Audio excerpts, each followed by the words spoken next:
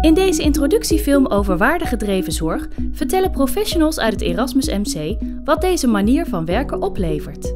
Voor patiënten en voor de organisatie. Ook hoor je meer over hoe waardegedreven zorg in de praktijk werkt. We zijn in 2014 eh, begonnen met waardegedreven zorg. Ehm, waarbij we heel erg sterk de behoefte hadden om de zorg nog meer toe te spitsen op het meten van uitkomsten die er voor onze patiënten het meest toe doen.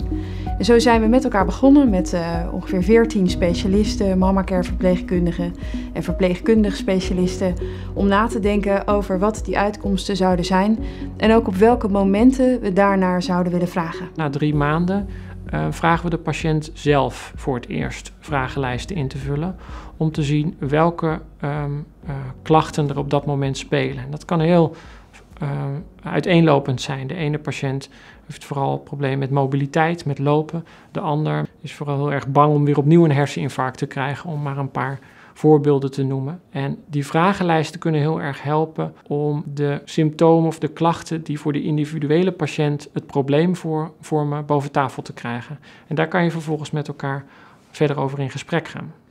Uh, ik schaam me altijd een beetje om te zeggen, maar ons consult duurt 10 minuten. Voor mensen met kanker is dat echt belachelijk weinig. Uh, we moeten dus zorgen dat we die tijd efficiënt uh, gebruiken.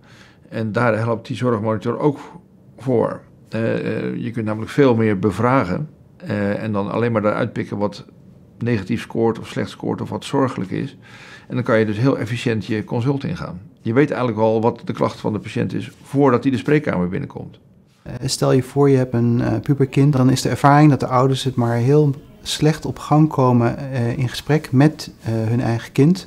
En dat lukt dus nu door die vragenlijsten naar die kinderen en die ouders toe te sturen, lukt het veel beter om die twee met elkaar in contact te brengen. In eerste plaats zie je dus in de spreekkamer terug uh, op het scherm wat die uitkomsten zijn van de vragenlijsten. Daar kun je concreet iets mee.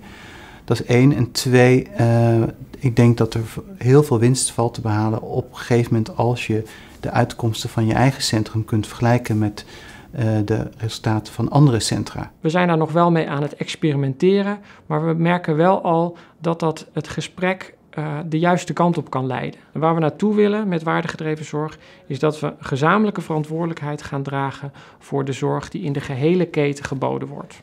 Ja, de reactie van de patiënt is eigenlijk overweldigend geweest. Die zijn enorm positief hierover geweest. En ondertussen vergaren we natuurlijk enorm veel kennis uh, op het gebied van wat er bij deze patiënten allemaal precies aan de hand is.